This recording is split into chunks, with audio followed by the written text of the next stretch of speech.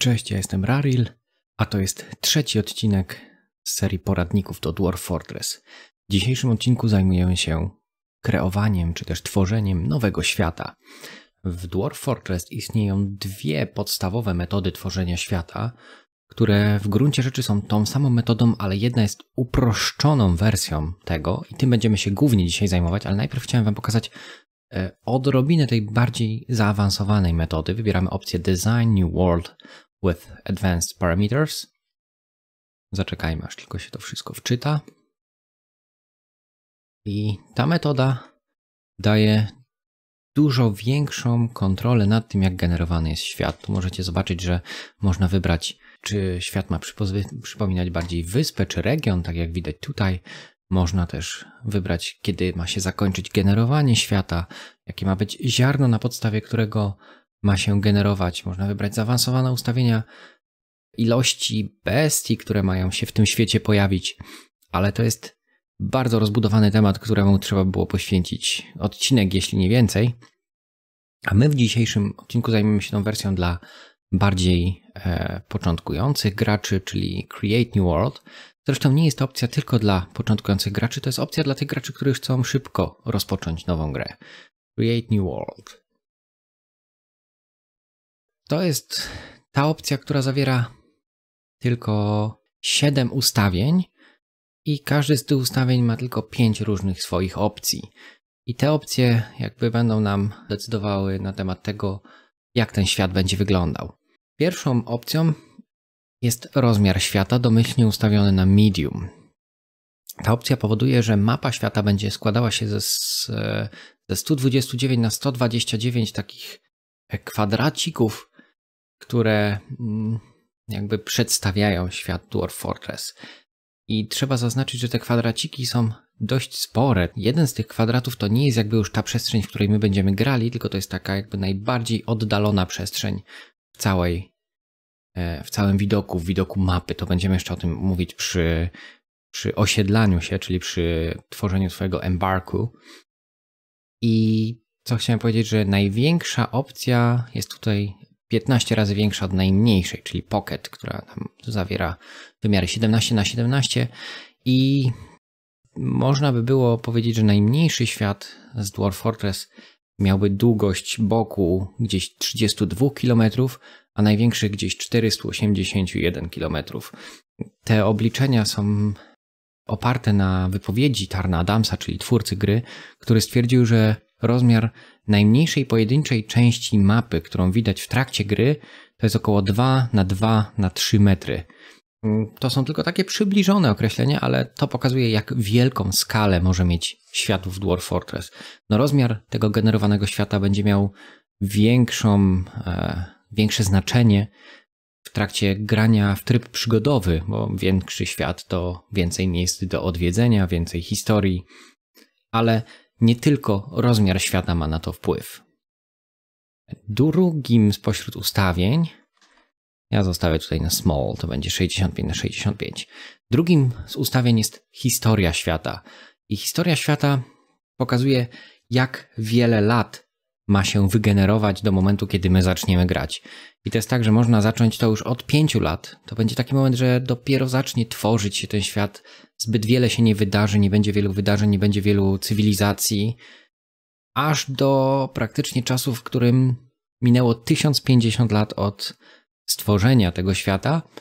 I wtedy bardzo wiele już się wydarzyło w tym świecie. Może być tak, że zabraknie już niektórych bestii, że niektóre cywilizacje się wyniszczą w trakcie jakichś wojen, sojuszy, walk, ewentualnie jakichś katastrof. I teraz tak. Długość historii wpływa na to, jak długo sam świat się będzie generował, bo pierwsze lata generowane są przez grę bardzo szybko. Jest mało wydarzeń, mało jeszcze jest cywilizacji, mało mieszkańców tego świata i pierwszych kilkanaście, kilkadziesiąt lat, w zależności od tego, jak silnym sprzętem dysponujecie, będzie mijało bardzo szybko. E, no, z czasem ta prędkość spada, ponieważ rośnie ilość elementów, która gra musi, które gra musi wygenerować w każdym kolejnym roku. Ja tym razem zostawię sobie tą historię na krótką, czyli na 125 lat. Przechodzimy dalej. Kolejną e, ważną rzeczą jest ilość cywilizacji, kolejnym ustawieniem. Ilość cywilizacji, tutaj trzeba zaznaczyć, że nazwa cywilizacja odnosi się tu raczej do takich królestw niż do konkretnej rasy. To znaczy, że może być więcej cywilizacji jednej rasy i może okazać się tak, że w wygenerowanym przez nas świecie dominuje jedna z ras, natomiast jest bardzo dużo różnych cywilizacji.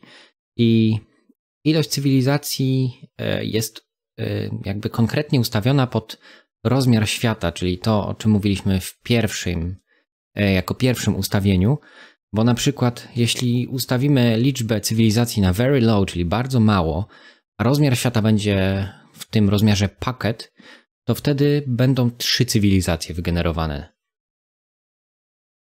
Jeśli to jednak będzie large, czyli duży świat, to wtedy tych cywilizacji będzie już 10, nawet jeśli będzie ich bardzo mało, bardzo mało. Natomiast jeśli weźmiemy bardzo wysoką ilość cywilizacji, to w świecie o rozmiarze pocket będzie ich 10, natomiast w świecie o rozmiarze large będzie ich aż 160. Czyli rozmiar świata ma wpływ na to, jak duża ilość cywilizacji może się w, niej, w nim rozwijać.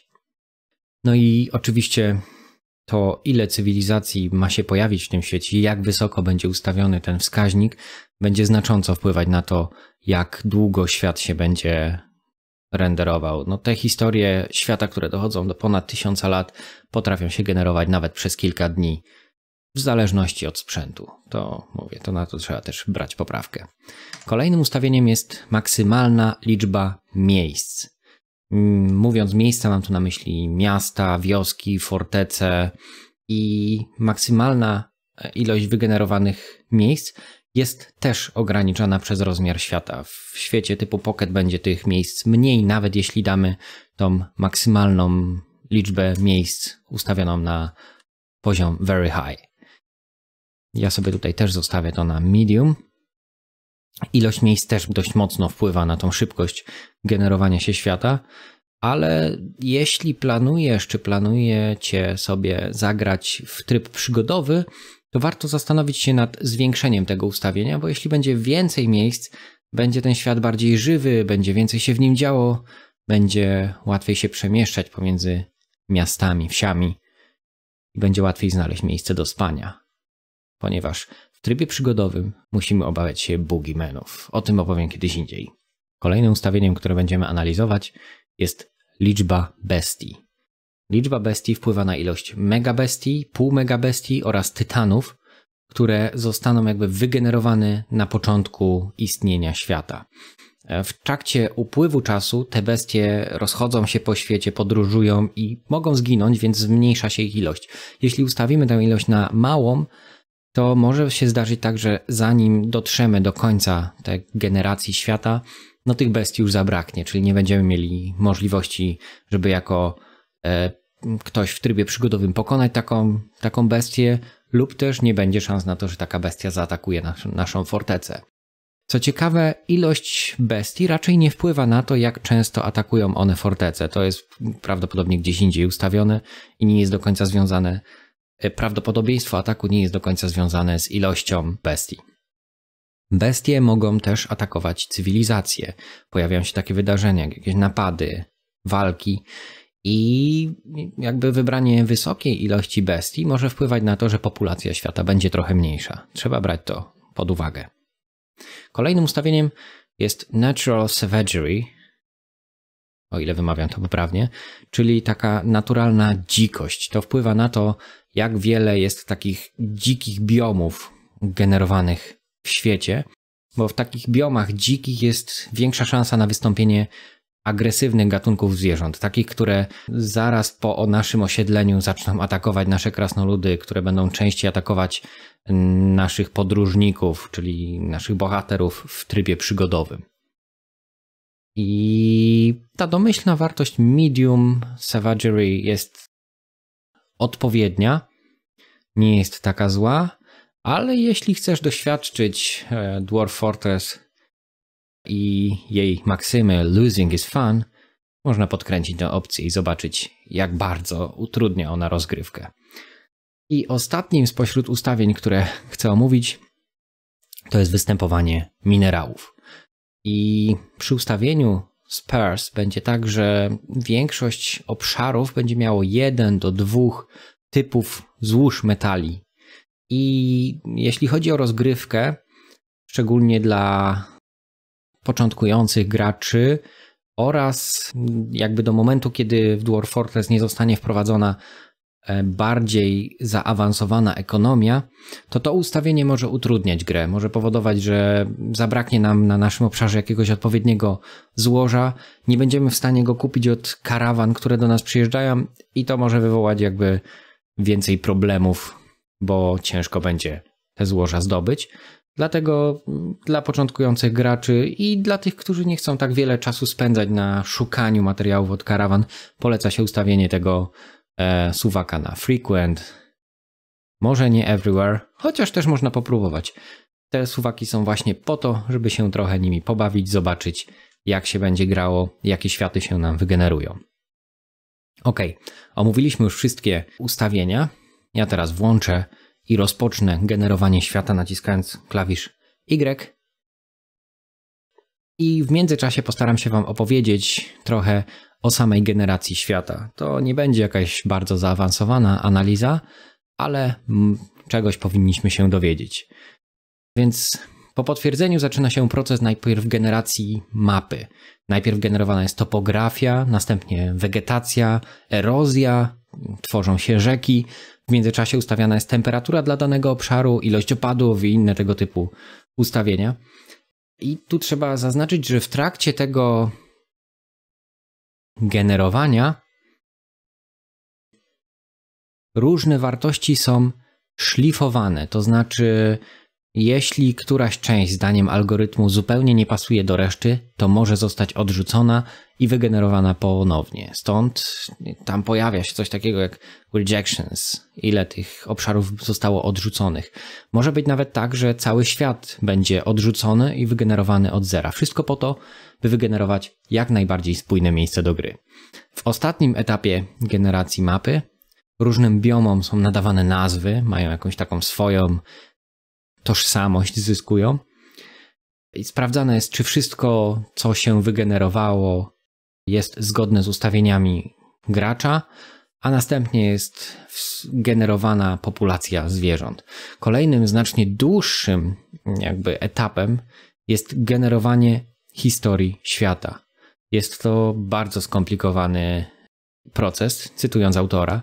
Zaczyna się jakby taka ogromna gra strategiczna oparta na takiej luźnej, turowej rozgrywce między AI z uwzględnieniem tysięcy różnych czynników i zmiennych. Następnie po utworzeniu tego wszystkiego, no można tutaj zobaczyć, że w tym świecie, który ja wygenerowałem, było tych wydarzeń, które się wygenerowały jakieś 72 653.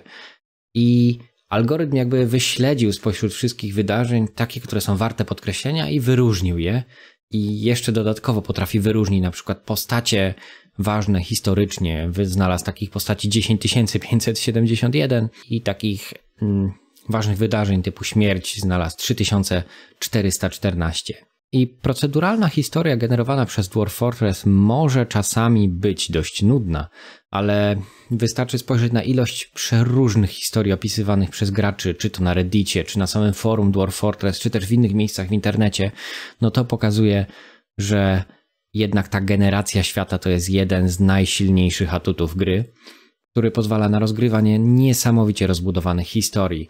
Ilość powiązań pomiędzy postaciami. Czasami zdarza się tak, że Wśród migrantów znajduje się jakiś członek rodziny, którego krasnolud dawno nie widział, ale później może okazać się, że jest on jakąś bestią bądź wampirem. Im więcej czasu poświęci się na poznawanie swoich krasnoludów, tym więcej można z tej historii wyciągnąć, tym więcej można się dowiedzieć. U mnie ten proces generacji już się zakończył jakiś czas temu. Ja cały czas gadałem, ale po ukończeniu procesu mm, tworzenia świata możemy się rozejrzeć po świecie i tam na górze widać, że mm, zmieniają się nazwy regionów, ale ten widok jakby nie daje tak dużo informacji. Jeśli nie jesteś jeszcze doświadczonym graczem w Dwarf Fortress, to nie do końca będziesz wiedział, co który symbol oznacza. Ja w opisie do tego filmu podlinkuję pod stronę z Dwarf Fortress Wiki, na której można zobaczyć legendę w języku angielskim opisującą, co oznaczają które symbole i czego się spodziewać po różnych kolorach na mapie. Natomiast dokładniejsze informacje na temat tego, co się dzieje na danym świecie, jak się rozwinęły cywilizacje i tak dalej, można uzyskać w trybie legend, który będziemy też omawiać, lub w wygodniejszy, moim zdaniem, sposób. Po wyeksportowaniu danych z trybu legend można otworzyć jakby tą historię świata w modyfikacji Legends Viewer. O tej modyfikacji wspominałem w odcinku drugim tego poradnika.